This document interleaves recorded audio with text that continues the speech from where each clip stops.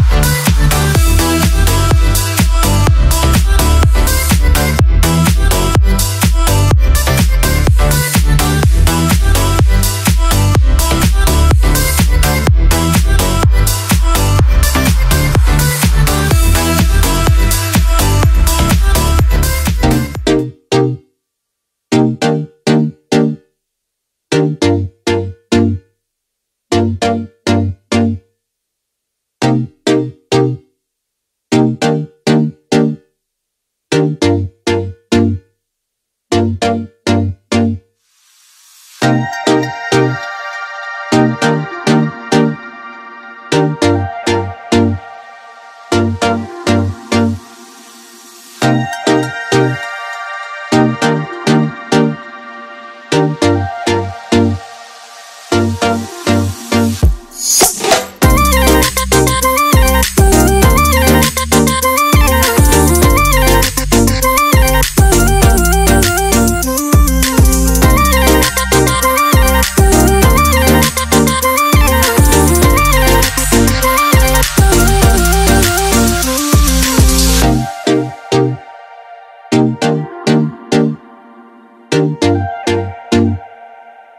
Thank